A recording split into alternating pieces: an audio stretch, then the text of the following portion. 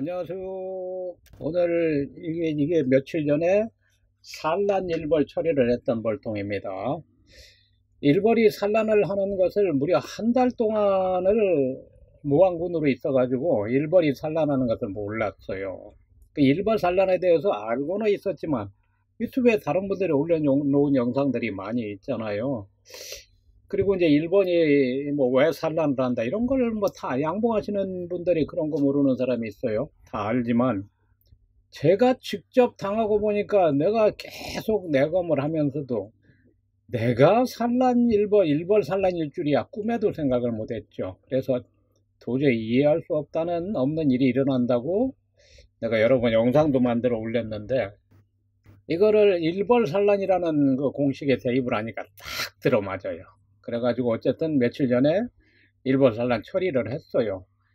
그리고 산란하는 일벌들은 다 이제 없애버리고 지금은 이제 정상적인 일벌들하고 어린 여기 이제 다른 볼통에서 봉충 소비를 자꾸 넣어주었으니까 어린 일벌들도 많다고요.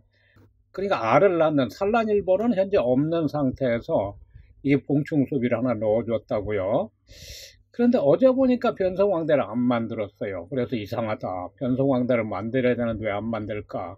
그래서 오늘 지금 보는 거예요. 이게 변성왕대 지금 많이 만들었잖아요. 오늘 지금 내검을 할 수 있는 날씨가 아니라고요. 어제 밤부터 오늘 비가 지금 무진장 옵니다. 지난번에 한 1500mm 왔는데요.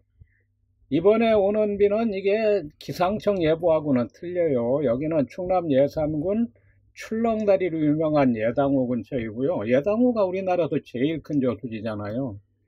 기상청에서 100mm 하면 여기는 최하 200mm에서 1000mm 옵니다.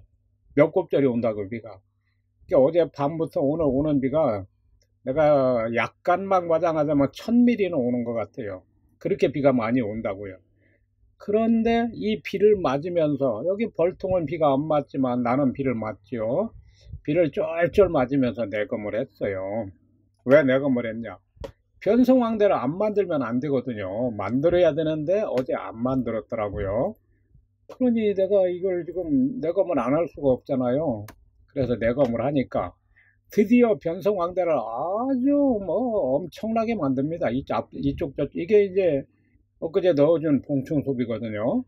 어제 봤을 때 분명히 3일령 이하의 애벌레가 많이 있는데도 변성왕대를 안 만들어서 내가 어제도 올렸어요. 뭐 이상하다. 이게 봉충 소비를 넣어주었으니까 변성왕대를 만들어야 되는데 안 만든다고 내가 어제 올렸는데요.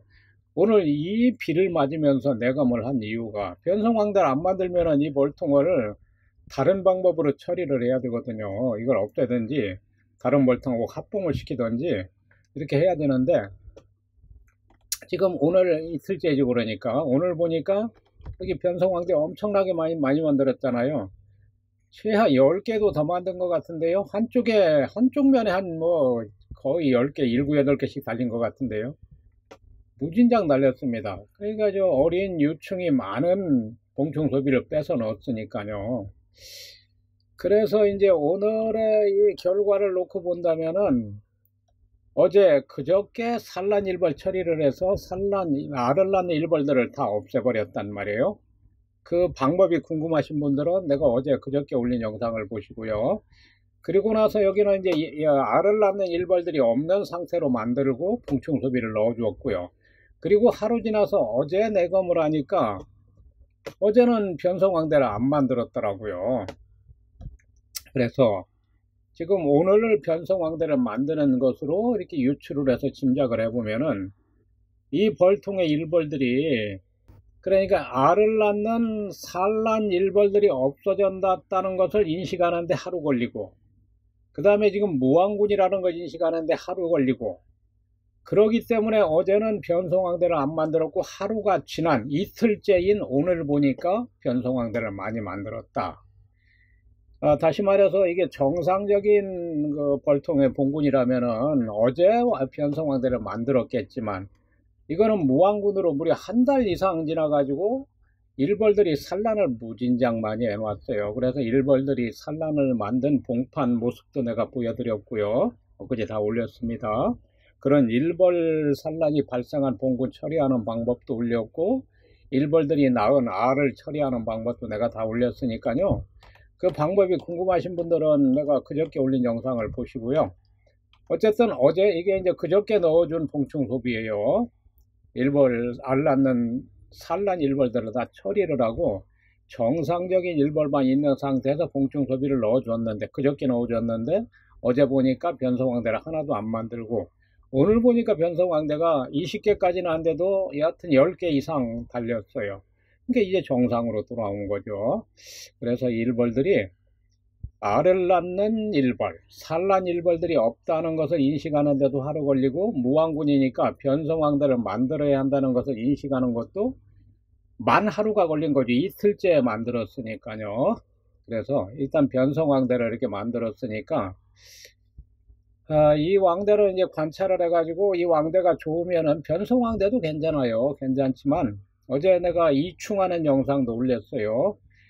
어제 이충을 해가지고 다, 저는 뭐 벌통이 많지 않으니까 왕완 다섯 개에다 이충을 해서 지금 계산군 제일 강군의 계산군에 넣어 놨어요.